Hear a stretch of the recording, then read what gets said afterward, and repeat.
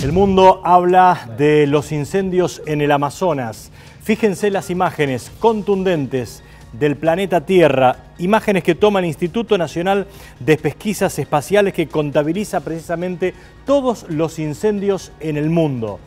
83% más de incendios este año 2019 aquí en esta zona del Amazonas, pulmón verde si los hay en todo el planeta, con relación al año anterior se han registrado desde el primero de enero hasta el 18 de agosto 71.497 focos de incendios.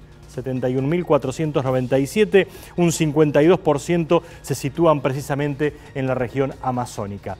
Eh, hay una movida importante a través de las redes de organizaciones ambientalistas de todo el mundo. Aquí en Argentina mañana va a haber una cita en el consulado aquí en Córdoba, de la calle Ambrosio Olmos, a partir de las 9 de la mañana. En Buenos Aires también se va a replicar en distintas ciudades del mundo. ¿Qué está pasando? Bueno, las organizaciones ambientalistas culpan a las políticas del gobierno de Bolsonaro y Bolsonaro retruca diciendo que hay algunas ONG que son culpables de lo que está pasando en Brasil. En 10 minutos, decía Raúl Montenegro en nuestro medio esta mañana, se queman 15 estadios de fútbol en estos incendios que conmueven y deben conmover a todo el mundo. Federico Copta, también otro de los especialistas.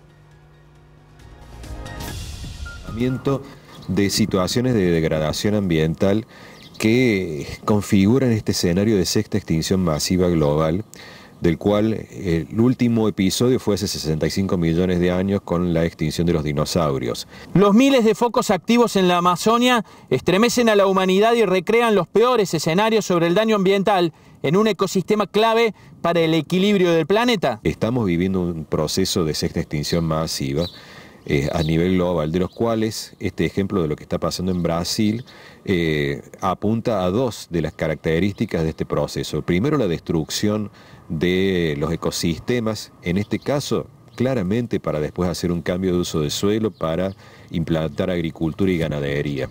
Esto tiene que ver con una, vista gorda de orden político eh, para ampliar la frontera agrícola ganadera y con esto la destrucción de este, una fuente de biodiversidad eh, que es la máxima que tenemos en el planeta. Entonces, eh, perder este, parte del Amazonas, no solo por el fuego, el fuego es un episodio ahora, sino que después eh, el siguiente paso que va a ser desmontar definitivamente para implantar agricultura y ganadería, hace que de miles de especies que puede haber por hectárea pase a una sola por ejemplo soja. Entonces, eh, esta sobresimplificación de los ecosistemas, eh, bueno, nos lleva justamente a esta este catástrofe de orden ambiental. Lo segundo tiene que ver con la emisión de gases de efecto invernadero, con la reducción de la capacidad de fijación de dióxido de carbono y de retención de carbono que tienen las selvas. ¿Cuánto tiene que ver el clima político que se creó con la asunción de Bolsonaro? Sin lugar a dudas, esto se puede hacer porque hay un aval político de que no se va a perseguir a quienes desmonten. Entonces, esto roza el delito de lesa humanidad.